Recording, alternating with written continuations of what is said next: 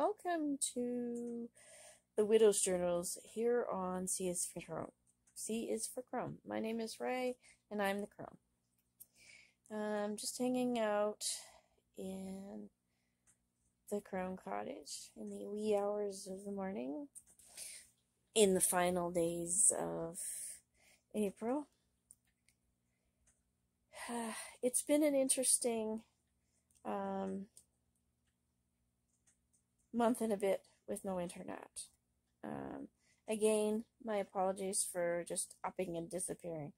Um, I was caught off guard with it. Um, and some things that I had been hoping would happen didn't. And, uh, and so it wasn't until last Thursday before I could even financially look at hooking up the internet. Um,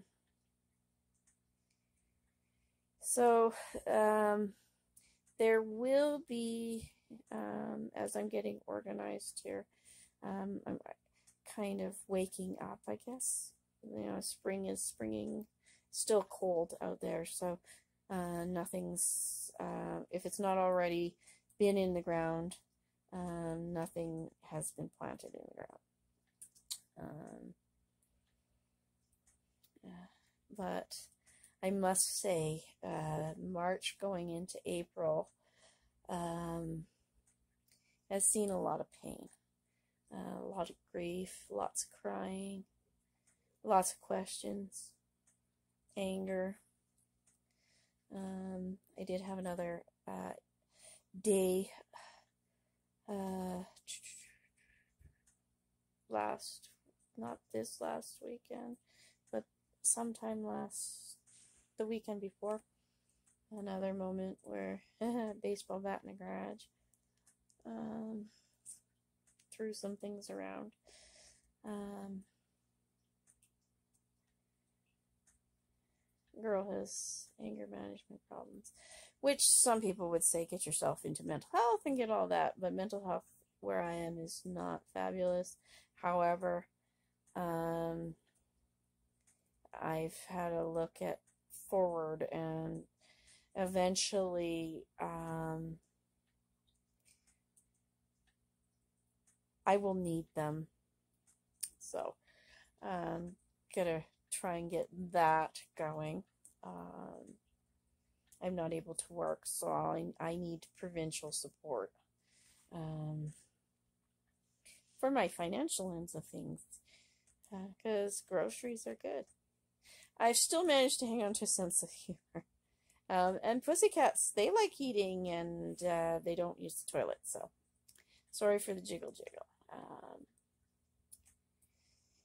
uh, so, yes, it has been on the grief front. I'm shifting because my wrist is doing so. I don't know where my camera stand is. I think I know where it is, but I'm not sure. Um, when I first lost the internet, I just about had a breakdown, like a major, major breakdown. Um, I didn't realize how much of my life had been wrapped around being online. Um, and so it it threw me for a loop and, and I, I crashed and I freaked right out. But prior to losing that, for for several months, I had um, wanted to do. I really, really just wanted to do what happened on one TV show, and that was disappear. You know, grab my kids and disappear and get away from everything um, so I could breathe type thing. Well, losing the internet did that. Um, all of a sudden, I, I I had no Facebook, I had no YouTube, I didn't have um, Google or you know browser to go and look up stuff. And so um, that did two things. One, it cut me off the from the internet support system that I had because on Facebook I have some very wonderful people that um, were very supportive and that I could talk to if I wanted to. Um, and uh, when times were tough and start things out. So February really was the month where I came out of shock. And so was very much attacking and lashing out. And um, it did weed out some people. Um, and it kind of felt like, in some respects, it was needed because I think I had some people in my life I didn't need to have there. You know, that they were just there. You know how on Facebook or how in life, you know, you, you know, whether through work or your kids as friends, uh, their parents or whatever, if you sat down and thought about it, um, you really don't know why they're in your life other than they're associated through Facebook or a game on Facebook or um, or they're they're just a contact person via your friends, your children's friends. You know, um, if you needed to, you could call them and say, "Okay, what's have you seen my child?" you know, um, but they really don't serve any other purpose in your life. Uh, you know, uh, teachers can be that. Your child's teachers can be that. Your vet can be that. Your, you know, even your doctor, your family doctor can be somebody that you never really see. Um, that they, they're just there. Um, you might really like the girl at the grocery store who processes your, the cashier who processes your, your grocery groceries, but you know, and you'd be kind of sad if she wasn't there anymore, but at the same time, she doesn't serve any other function. I think we all have lots of people like that. And for me, I did discover that um, many years ago. You know, I had people on my Facebook and my friends, they're just game people, you know, people from games. So, um, one of the things with the absence of Facebook for me um, in my grief is actually helped me narrow down who's important and who's not. Um,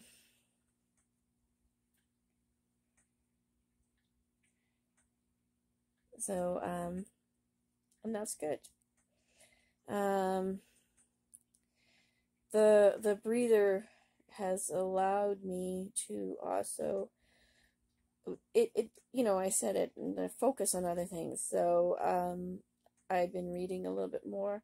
I've been doing a little bit different kind of journaling. Um, especially this last month. Um, prior to this month, I had been just gluing these little picture things that I got off a Wish into the journal just to add some art in there, kind of. Um, but April has been um, when I've been doing journaling, um, some art, doodle art type stuff. Um, I have some travel pictures. I, I refound them. Um, where I did, I colored them in. I picked that kind of fit my mood for the day, and then sometimes it's just a little bit of poetry or something that goes with that picture. I color it. I just sit and I, you know, that's that stop moment and, and I color. So, um, so yes, fe February was very much coming out of shock. March, and it was the, oh my God, he died. Some realization of he was gone Um, because while you're in shock and you're being bounced around trying to deal with stuff and not being able to deal with stuff and you're grieving, you're and deep sadness like I've been in, um, you know they're gone, but it can be very weird in that you can still feel these feel them and especially somebody like me i definitely still feel him here um so yeah definitely march was oh my god he's gone so dealing with that and then april has been um delving into it I'm thinking. Um, delving into the emotions and um, the what now. Okay, you know if what uh, if I take swords off the wall, or you know if I do stuff, you know the it's emptiness. It's the emptiness and dealing with that. I hope that makes sense. I'm, I'm sort of hitching in what I'm saying, kind of, because I don't know. It's sort of not knowing what I'm saying. I think that's um, been April's been very surreal. You know, the mar the March is the wake up call. April is that feeling of being caught between two worlds. You know what was and what's going to be and feeling like I'm in a box of windows where I can see what was and but at the same time sort of look forward just towards what's going to be but I can't touch anything that's very claustrophobic actually um so so yes, that's that would be why there's been lots of crying and and lots of re-feeling alone and feeling lost. April definitely was that um, for me. Um, and so yes, that makes it. It's been hard. This has been hard because, you know, I've been trying to get think forward and how do I want the house to really be. You know, I talked about the Dort in previous videos, the dollhouse fort idea, you know, making the house my own. Um, and then getting sideswiped by seeing pictures of him. Um, I tried one night to watch videos that um, I had put on, uh, I have put on YouTube, and it just upset me so badly. You know, I found some pictures of him and it upset me really prior to that, that really just, it just upsets me. Um, cause it's a reminder that all that stuff is just a reminder that he was gone. What helped me and helped me stop falling into towards despair um, was my videos uh, of me talking to you guys about my grief. That's what helped. Um, was seeing me. Um, so I'm so glad that I'm I, I'm doing the widow's journals because um, and sharing with you because you know I've it, it it's good to see that point of view and be reminded.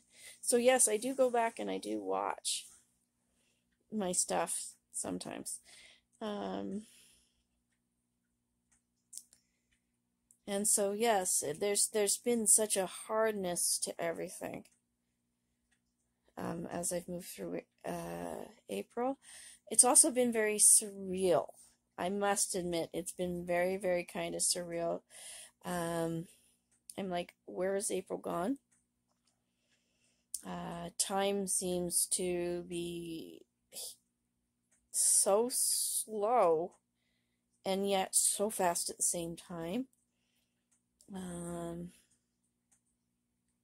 I was thinking earlier today um, when I first put this is the second go around for Desolation Smaug because I'm just playing video. Um, I've done that. Uh, April seems to be the month of watching, putting movies on, certain movies on three times in a row.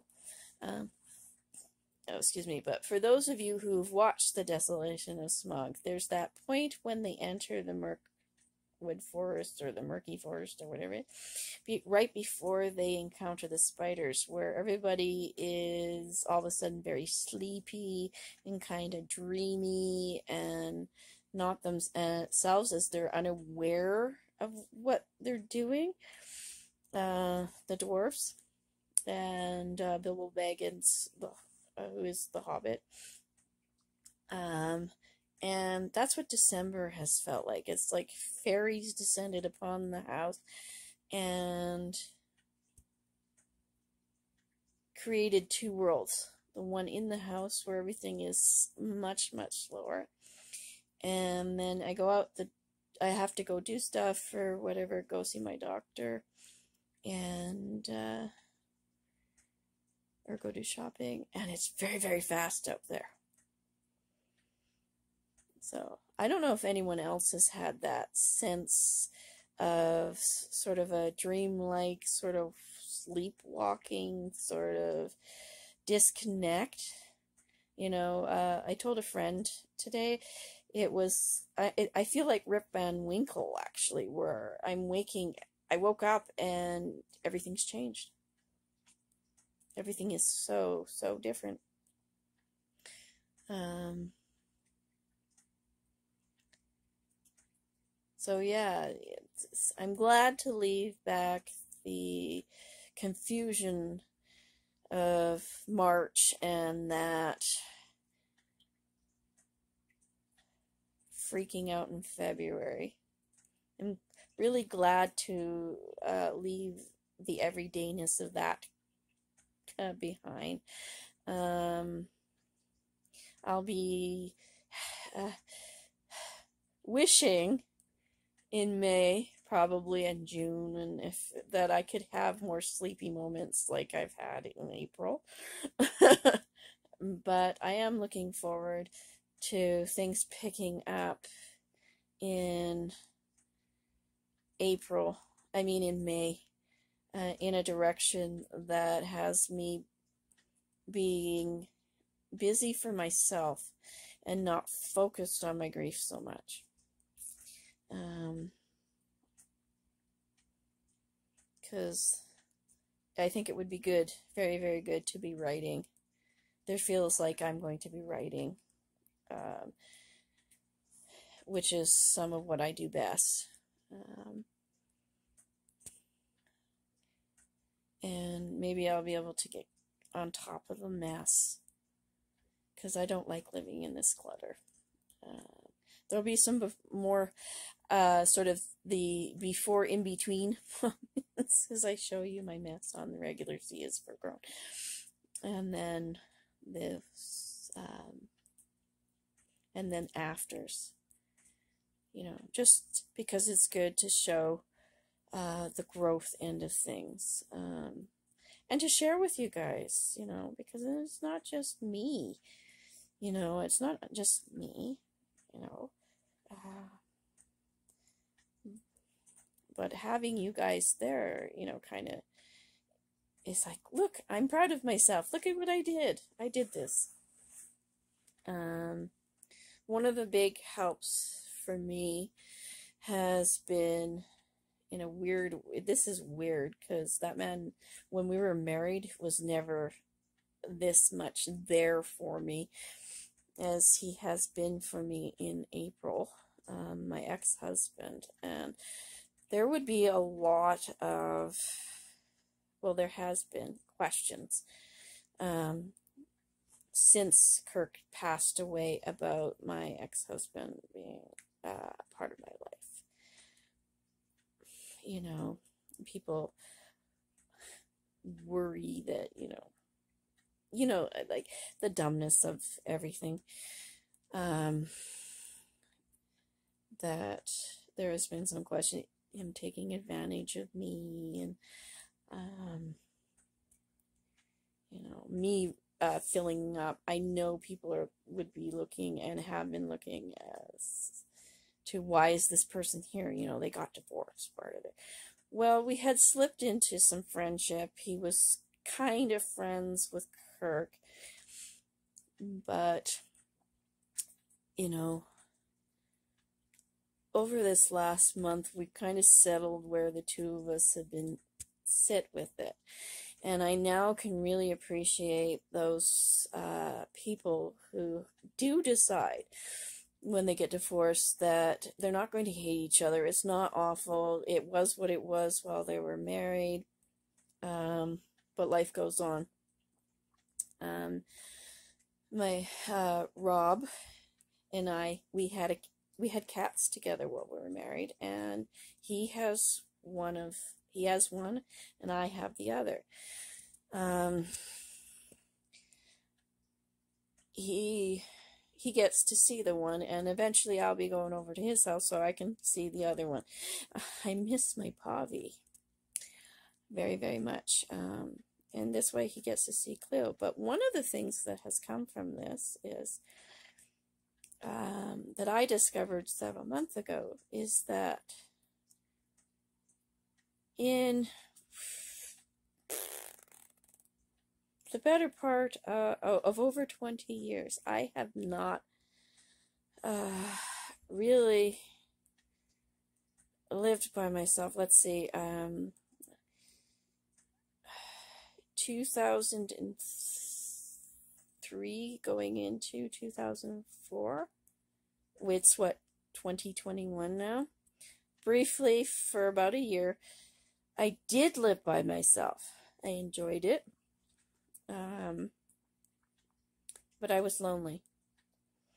My ex and I, we we figured some things out, and we did get back together. And then I have not lived alone since 2004. So that's 17 years. So to all of a sudden have my husband die and not have, because of COVID, social contacts like I used to be. Like, this has been grieving wise, this whole social isolations uh, stuff is just insane. I probably have mentioned it before. Um, but, um, we have dinner together he'll come over. We'll do he'll do some work, or and sometimes we'll just sit and watch a movie while we eat dinner. But just having that extra person here on a, a you know three four times a week has definitely improved my mood. I don't feel so lonely. I call it the lonelies. And the lonelies don't seem to get me quite as much. So make it what you will about having ex exes in your life, um, my suggestion is to pay attention to things, be very careful. Remember, you do have history, and that history can come forward. Um, we almost didn't have this because it did come forward, um, but we managed to mend fences and so, and it is nice to have someone who can help me with stuff, you know. So, and we settled in a place where I'm happy to say it's more like a brother sister relationship, which is good, which is probably where we should have always been. Um, we probably should never have got married and we should just been friends and and that kind of thing. So I'm enjoying that. Um, so things are looking up. Um, and he's helping me focus. So maybe he's here just for this right now, and then later on, life will change. And things will move forward, and he'll stop coming by because there won't be a need for him to come by. And I'm I'm okay with that. sometimes things are just for now. And we can forget that. So, 25 minutes in, time to wrap things up. Let's see. Uh, what am I grateful for? Because always, always here in the Widow Journals, we end on the happy. I am grateful for this house that was paid for before he passed away. Uh, roof over my head, uh, a place to start over. Excuse me, home. I am as always grateful for the fur kiddos because they're amazing. And Simon specifically because he just, my little man just knows when mommy needs that extra bit. Um, the twins because they're nuts. They're my frat brats and they're crazy and they make me laugh a lot. They put a smile on my face. Um, they're like a year and a half now. Um, and they just run around and be crazy, crazy, crazy some days. Um, especially Morgana, um, to whom, if I get a really good picture of it, it's because she's deemed me worthy of that picture that day. Um, she does not like her picture taken. Um, and Cleo, because that's just my baby girl, my beautiful lady, the crone cat, who, you know, reminds me sometimes that I, I just need to be me. So I'm grateful for that. I'm grateful for eating. you know, that I've been cooking in April. Not all the time. Um, but I've been grateful for that. And I am grateful, as always, to um, the wonderful woman who runs me all over the place, practically any time that I need it. So, yes, I'm very, very grateful for her. And I'm grateful for my ex, Rob, for making time for me to help me deal with my grief, help me with getting ahead in the house and focus on the house. Ah, happies. My gratefuls are my happies. Um, having enough money to be to buy the three di- the three movie set of The Hobbit. Um, Lord of the Rings and The Hobbit are very important movies to me. Oh, and finding music I hadn't listened to for like ever on my older laptop um, and creating a um, grief playlist for myself that I can go and by myself just let music guide my grief for a bit. And in doing so, there was a couple of songs or several songs that I feel like they come from Kirk. So it's connecting. You know, there's songs that um, I feel like they have words in it that um, he would he would say to me now, like uh, Kenny Rogers did. Uh, she believes in me, and it's just absolutely um, after having conversation with his best friend the other day via texting. Um, it, it says it's exactly what he would be saying. It, it's different words and stuff because it's about a singer and he wasn't a singer. Um, oh, they cut me off. So this possibly in two two bits, but anyways, um, I'm gonna put, yeah. No. So, anyways, music, music, music is happiness. The sunny weather is happiness. And making videos and getting back on YouTube, amazing, amazing, amazing, happy, happy. So, from me to you, count your blessings. I am, as always, grateful you for my subscribers and anyone who takes time to actually watch my videos from start to finish. Um, blessings to everybody, and uh, I hope you always find reasons to smile. Thank you for watching.